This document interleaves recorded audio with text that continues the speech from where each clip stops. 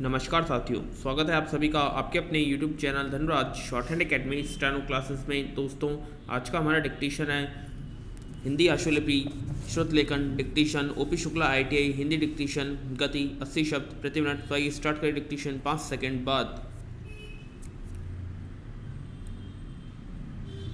Start मान्यवर जिस विषय पर चर्चा हो रही है, उस विषय का हमारे देश के जनजीवन से, हमारे देश के लोकतंत्र से और हमारे देश की कानून और व्यवस्था से सीधा संबंध है, विराम। यही कारण है कि आज़ादी के बाद और आज़ादी के पहले इस विषय पर हमारे देश के जो राजनीतिज्ञ और शिक्षा शास्त्री हैं, जो इस विषय में रुचि रखते हैं और मान्यवर जो हमारे देश के प्रशासक रहे हैं, उन सबने समय समय पर हमारी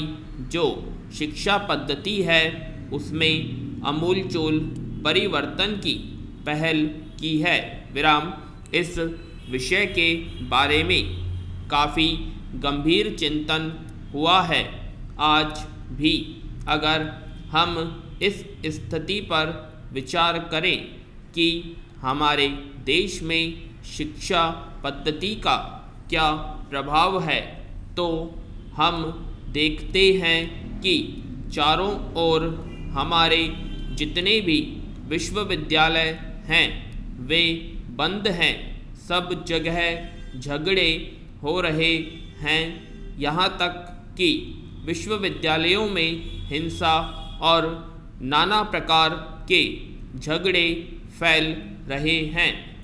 और ऐसा लगता है कि ये शिक्षा के मंदिर नहीं हैं, बल्कि हिंसा और उपद्रव के स्थान बन गए हैं। विराम, मैं नहीं मानता हूँ कि इसमें विद्यार्थियों की गलती है। यह हमारी शिक्षा पद्धति का दोष है। विराम, इस प्रकार की शिक्षा पद्धति में सुधार होना ही चाहिए।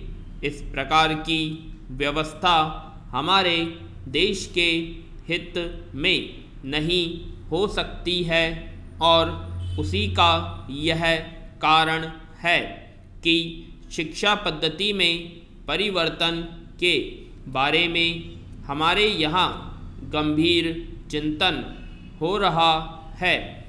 वर्तमान शिक्षा पद्धति अंग्रेज़ी राज्य की देन है। लॉर्ड मैकाले ने हमारे देश में जिस प्रणाली को चालू किया था, उसी का थोड़ा बहुत रूप आज भी मौजूद है।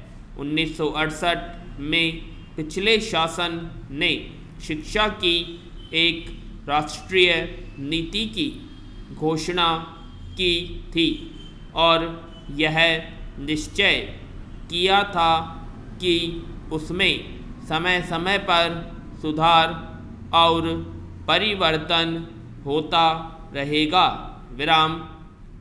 आज मांग बड़े जोरों से है कि हमारी एक निश्चित राष्ट्रीय नीति शिक्षा के संबंध में होनी चाहिए। विराम।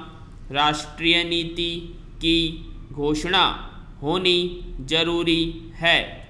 मैं यह कहना चाहूँगा कि राष्ट्रीय नीति की घोषणा होने के पहले उसका सीधा संबंध जिन लोगों से है, जिनका ज़िक्र मैंने ऊपर भी किया है, संसद और जो शिक्षा से संबंधित क्षेत्र के लोग हैं, उनके विचारों को सुनने के पश्चात ही इस पद्धति को लागू करना चाहिए, क्योंकि शिक्षा पद्धति एक नाजुक विषय है और इसमें सुधार करने की काफ़ी गुंजाइश है विराम।